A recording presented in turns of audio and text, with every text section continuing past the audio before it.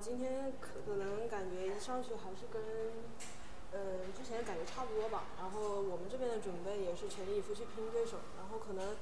就是，嗯，因为就是我们两个可能搭档上面、身体上面可能，嗯，有些原因吧。然后体能上面，但是但是可能这不是我们输球的原因。然后可能我们之后还要就是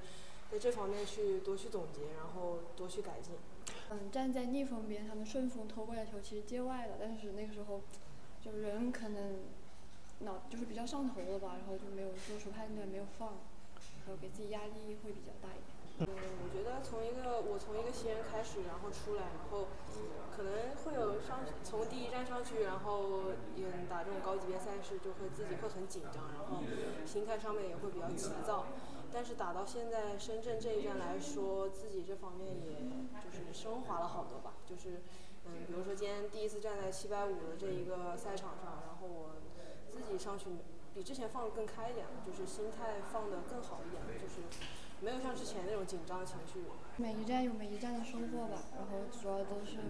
总结经验，因为比赛面临的困难跟在家里训练是不一样的，然后每一次出来都是有。